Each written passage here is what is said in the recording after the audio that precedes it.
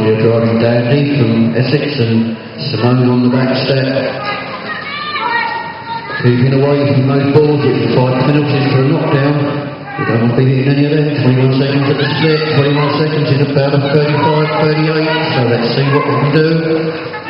We just a little bit of pace. Going to come away we go, 36.5.